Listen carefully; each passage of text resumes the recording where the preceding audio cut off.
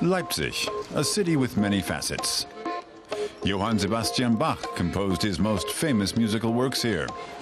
The city is home to Germany's oldest exhibition center and a number of famous memorials. The Battle of the Nations monument commemorates Napoleon's defeat here in 1813. Leipzig is also a city on the move. The main train station houses a three-story shopping center. And the city is renowned for its art. Leipzig artists are internationally renowned. Michael Fischer Art is one of them. He's known for his brightly colored comic book figures, pop art with realistic themes. His colorful murals brighten up the city. Fischer Art enjoys going to the exhibitions of his fellow artists at the Sparkasse Exhibition Center. This is classical realism, showing people how they really are. We could put a decal picture under it and say, we'll make it into Lenin or Thälmann or persecuted workers. That would be heading in the direction of social realism. The cotton mill used to be a factory. Today it houses the studios of a number of artists belonging to the so-called Leipzig School. The city's art scene has attracted a lot of foreign artists to the city. Japanese painter Aya Onodera is one example.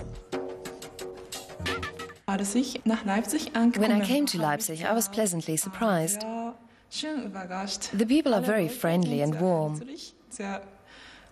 It feels like home now. Und ich fühle mich äh, wie eine Heimat ist.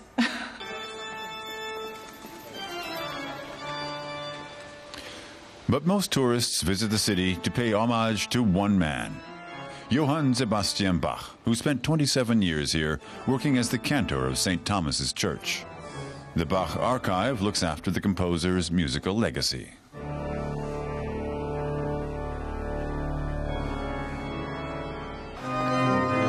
Michael Fischer Art also feels drawn to the church by the music. He's a great fan of the composer.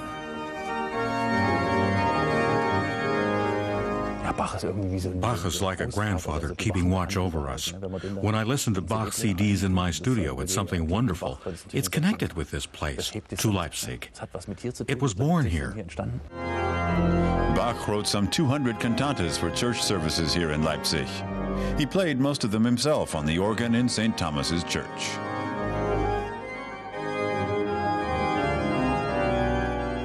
This is a new instrument made by the organ builder Gerald Woehl. The sound, the overall construction, the structure of the pipes and bellows, and the mechanism are made in exactly the same way as they would have been made in Bach's time. Genauso wie die Orgelbauer das zu Bachs Zeit gemacht haben.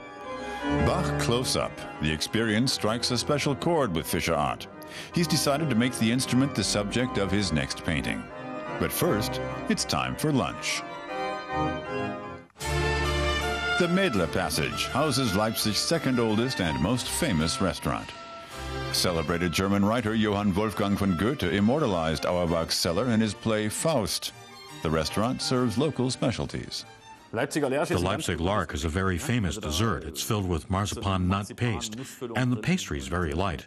But you've got to be careful to eat it only once a week because it's got a lot of calories.